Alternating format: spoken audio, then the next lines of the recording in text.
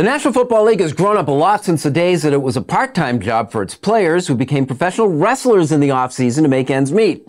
We're talking about you, Ernie Ladd, the big cat. But this isn't about that, and besides, I'm the only one that really remembers him. The NFL that Ladd left behind in 1968 has become quite the racket. Beginning with training camp in late July, the league schedules 20 weeks of preseason and regular season games and blocks out another five to crown a champion in February. March brings free agency and the combine, April the draft, and May the official release of the schedule.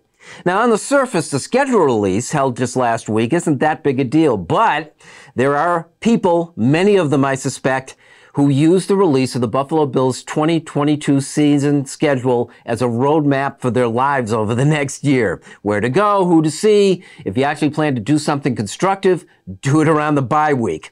It is a little sad, a little bit amusing, but very much real.